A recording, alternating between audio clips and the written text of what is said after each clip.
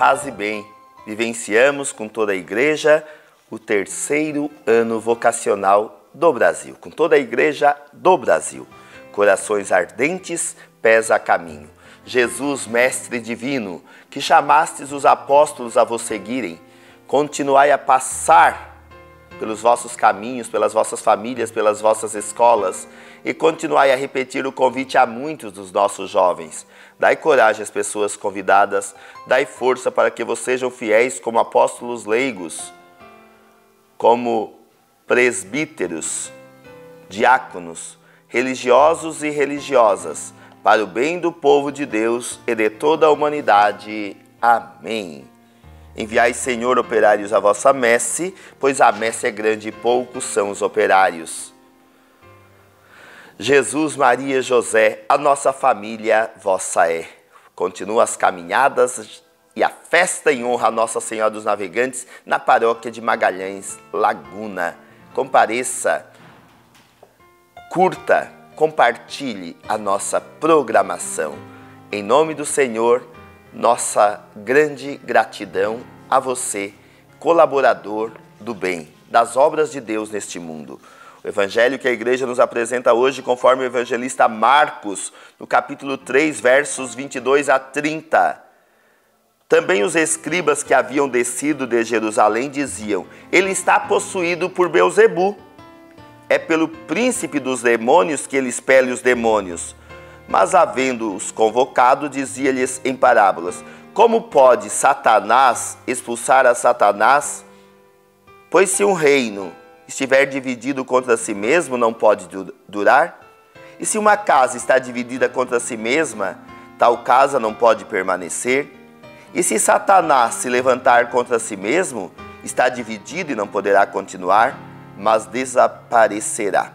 Ninguém pode entrar na casa do homem forte e roubar-lhe os bens, se antes não o prender, e então saqueará a sua casa. Em verdade eu vos digo: todos os pecados serão perdoados pelos filhos dos, dos homens, mesmo as suas blasfêmias, mas todo o que tiver blasfemado contra o Espírito Santo jamais terá perdão, mas será culpado de um pecado eterno. Jesus falava assim porque tinham dito: Ele tem um espírito imundo. Palavra da salvação, glória a vós, Senhor.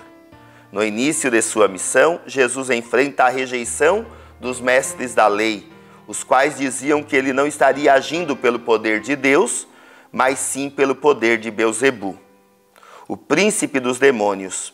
A acusação era grave, passível de lapidação por meio da linguagem das parábolas, Jesus se defende e deixa clara a sua identidade. O seu poder vem de Deus e é superior a Satanás. Os verdadeiros caluniadores e cúmplices de Satanás são os que não reconhecem a manifestação de Deus. Quem, em plena consciência, com os olhos abertos, atribui ao demônio o que é obra de Deus, comete pecado contra o Espírito Santo que não tem perdão.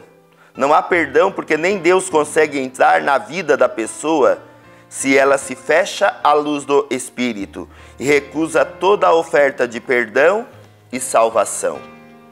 Glória ao Pai, ao Filho e ao Espírito Santo, como era no princípio, agora e sempre. Amém. Juntamente com o Padre Antônio, com o diácono Arnaldo, juntamente do nosso CPP, Conselho Pastoral Paroquial, e dos nossos CPCs, Conselho Pastoral das Comunidades, juntamente com o povo santo de Deus, convidamos todos para participar da grandiosa festa em honra a Nossa Senhora dos Navegantes. Já começou com as peregrinações dia 16 e vai até o dia 5 de fevereiro. Muito obrigado pela sua participação e oração comigo. Abençoe-nos o Deus Todo-Poderoso, o Pai, o Filho e o Espírito Santo. Amém. Eis-me aqui, Senhor.